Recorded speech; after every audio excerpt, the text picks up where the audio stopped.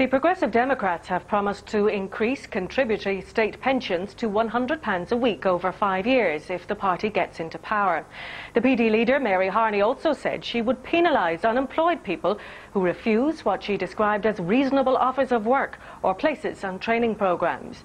Ms Harney was speaking in Cork, from where Tony Connolly has filed this report.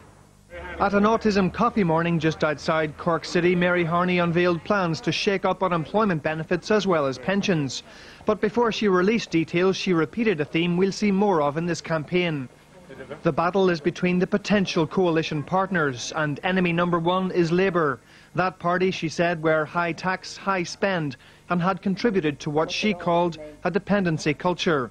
And she baited Dick Spring again about his refusal to meet her in a TV head-to-head. -head. Don't be afraid.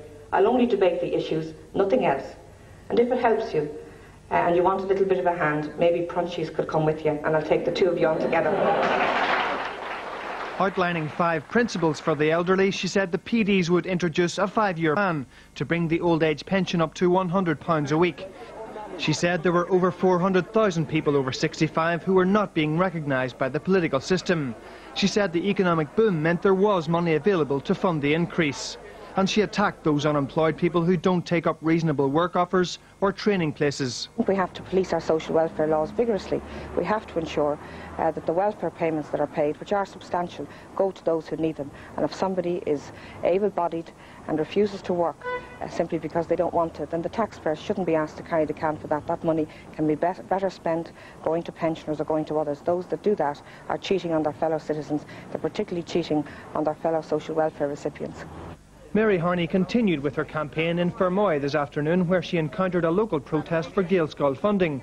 It's unclear yet how that kind of demand would fit into PD doctrine, but she did receive some support for her policies.